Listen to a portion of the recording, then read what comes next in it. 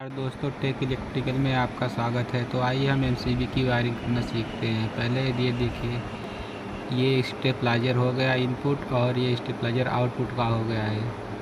तो हम इस पे वायरिंग करते हैं और ये तार हो गया है पोल का और ये एमसीबी आउटपुट का हो गया है। हमने इसमें आरसीसी भी लगा रखा है। तो आइए हम इसकी वायरिंग फटाफट करते हैं।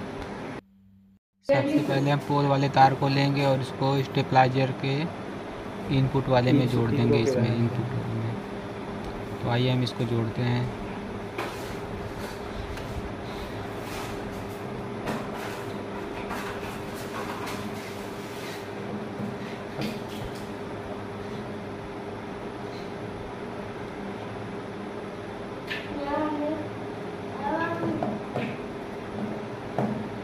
ये हमारा इनपुट का जुड़ चुका है।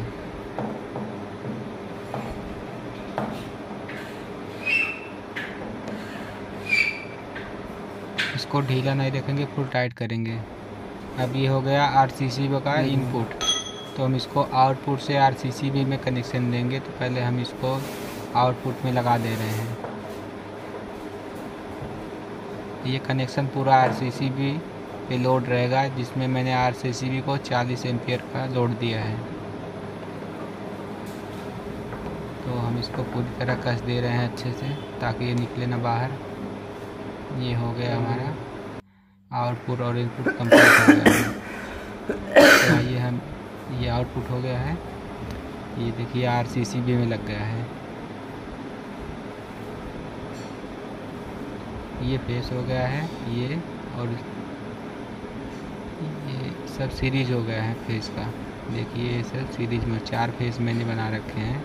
चारों को फेस को लोड दे रखा है सोलह एम्पियर में। और ये न्यूट्रल हो गया है। आर सी सी बी का न्यूट्रल मैंने बत्तीस एम्पियर पे दिया है, सारे न्यूट्रल ऊपर रख गए हैं। तो अब इन्वर्टर से देखिए इन्वर्टर का तार एक निकलता है पीछे से। तो इन्वर्टर का तार हमने यहाँ से अंदर से डाल रखा है, ये देखिए, ये निकल गया। इन्वर्टर का तार हमने 10 एम्पियर पे लोड दिया है। तो पूरा तार हमने 10 एम्पियर पे दे दिया है। हरा वाला तार इन्वर्टर का है। तो वीडियो आप लोग अच्छे से समझ रहे होंगे कि मैंने अच्छी तरह कनेक्शन किया। अगर वीडियो पसंद आई हो तो लाइक और सब्सक्राइब ज़रूर करना मेरे दोस्त।